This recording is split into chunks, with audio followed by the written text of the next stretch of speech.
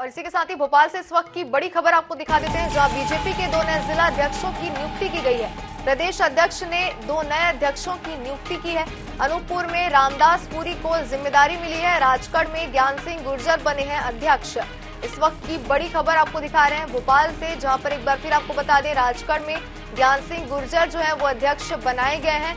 और नई जिम्मेदारियाँ जो है, इसी के साथ ही मिल गई है। बीजेपी के दो नए वीडी शर्मा ने दो नए अध्यक्षों की नियुक्ति जो है वो की है। भोपाल से इस वक्त की बड़ी खबर दिखा रहे हैं आपको और बता दें आपको कि नई जिम्मेदारियाँ इसी के साथ ही मिल गई है। राजगढ़ में ज्ञान सिंह गुर्जर अध्यक्ष बनाए गए हैं। बीजेपी के दो नए जिला अध्यक्षों की नियुक्ति इस वक्त की गई है और वीडी शर्मा ने दो नए अध्यक्षों की नियुक्ति की है, जिसमें अनूपपुर में रामदास पुरी का नाम शामिल है। नई ज़िम्मेदारी उन्हें मिली है और राजगढ़ में ज्ञान सिंह गुर्जर जो है वो अध्यक्ष बनाए गए हैं। बड़ी खबर इस वक्त की भोपाल से।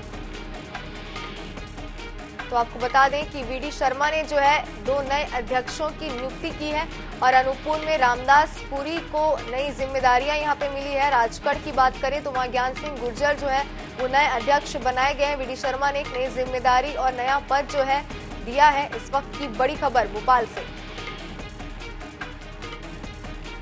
तो अनूपपुर की बात करें तो रामदास पुरी को जो है अनूपपुर की ज़िम्मेदारी मिली है। अध्यक्ष के तौर पर काम करेंगे और राजगढ़ में ज्ञान सिंह गुर्जर जो है, उन्हें नई जिम्मेदारियाँ वी शर्मा ने सौंपी है। इस वक्त की बड़ी खबर आपको भोपाल से बता रहे हैं, जहाँ बीजेपी के दो नए जिला अध्यक्षों की नियुक्ति जो है वो की गई है। ज़्यादा जानकारी के लिए हमारे संवाददाता अनुराग मालवी हमारे साथ जुड़ गए। अनुराग, जिस तरीके से इस वक्त खबर आ रही है कि बीजेपी में दो नए जिला अध्यक्षों की नियुक्ति की गई है, क्या कुछ जानकारी है इसमें? देखिए, बिल्कुल निश्चय, अगर देखें तो दो जिला अध्यक्षों की नियुक्ति भारतीय जनता पार्टी ने की और ये नियुक्ति इस तरीके से बहुत महत्वपूर्ण हो जाती है, जिस तरीके की स्थितियाँ मध्य प्रदेश में हम देख रहे हैं लगातार भारतीय जनता पार्टी में परिवर्तन जो चल रहे हैं। संगठन में जहाँ जहाँ की रिपोर्ट खराब आई है और परिणाम नगरीय निकाय चुनावों में गड़बड़ आए हैं। राजगढ़ की बात करें या फिर अभी हम देखें कि नगर नगर पालिका चुनाव में वहाँ बेहतर परिणाम नहीं थे। और इसी तरह अगर हम अनूपपुर की बात करें तो वहाँ भी यही स्थिति बनी थी और उसी के बाद दोनों जिला अध्यक्षों को बदला गया है और पूर्व जिला अध्यक्ष को अनूपपुर में नियुक्ति दी गई है और वहीं पे अगर हम बात करें राजगढ़ में तो जो वर्तमान में जो जिला महामंत्री थे, उन्हें जिला अध्यक्ष बनाया गया है। जी जिनराग पहले भी क्या इस तरीके की खबरें सामने आई थी कि दो नए अध्यक्षों की नियुक्ति की जाएगी?